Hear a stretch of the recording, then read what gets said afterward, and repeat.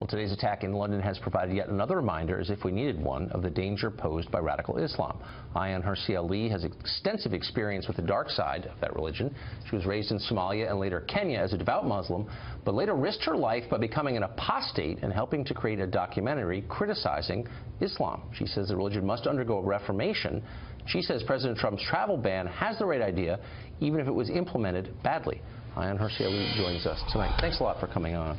Thanks, Tucker, for having so me. So why is it that so many on the left internationally, in this country, in Great Britain, all through Europe, have so much trouble coming to terms with the religious component of this violence?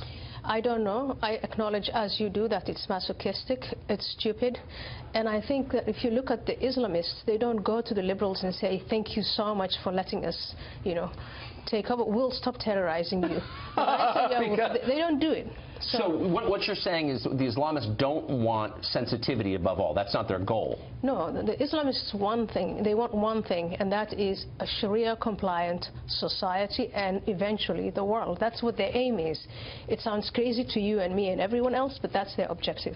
And they want to get there through dawah. This is an infrastructure of indoctrinating people into yes. accepting it, and other ways of intimidating and you know forcing them to do it, and jihad, violence and whoever is in their way is their enemy. And it doesn't matter how nice the liberals are, how accommodating and obliging they are, that's the objective of the Islamist. And if you don't understand that, then I don't think you should be in the business of making legislation or in the business of, you know, the leadership of, in thought leadership, because yes. you're just incapable of understanding that problem. Well, you, that would disqualify virtually everyone in charge of making policy in this country, except for about four people. Uh, so it's interesting that you no, say you not, say not that. everyone. but but most. I mean, there is this feeling that we don't have the moral standing in the West to criticize Islamism. And they, they remind us that we don't have that moral standing because the Islamist sees non-Muslims and non-Muslim non Muslim ideas, and even non-Islamist ideas, as illegitimate, as against the idea of God.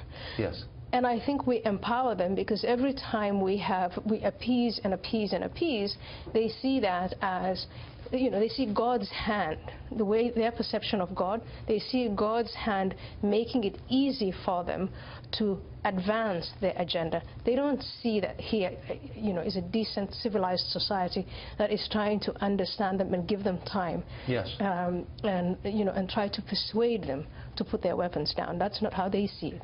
Fascinating. Uh, so you had qualified support for President Trump's travel ban. Why? Well, I think I listened to his speech in Youngstown, Ohio, when he was a candidate, and he, first of all, named the problem. He said, we are at war with radical Islamic ideology. And he put that ideology in the same sequence as fascism and National Socialism and communism. And he said, this is the ideology of the day. And so he went, you know, with the travel ban, it was clumsily. He should have had a few lawyers look at it, legislators. Yes. He should have done it differently. But it doesn't take away from the fact that there are sometimes failed, failing, or weak states. And it's incredibly difficult to vet people who are coming from there. He has intelligence and information that we don't have.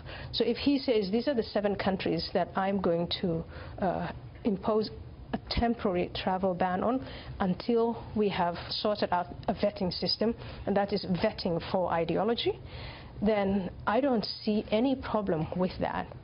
Uh, and I wouldn't look for all sorts of hidden things behind that. Uh, it, it, it seems like getting people from foreign countries, not just Islamic countries, but maybe especially Islamic countries, to buy into the values of the West is really important.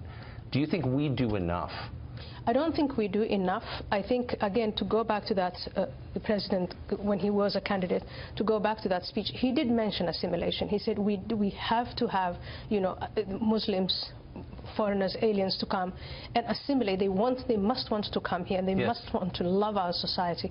And I think we don't do enough. In fact, in the West, uh, and I've been here for 20 something years, I forget that long, um, it, uh, what I see is an apology and an apologetic attitude toward Western civilization. And that is wrong. Then you, you are seen as weak and you are inviting aggression if you do that. Yes. Our, our leaders hate themselves and the country they run, and so they inculcate that in new arrivals.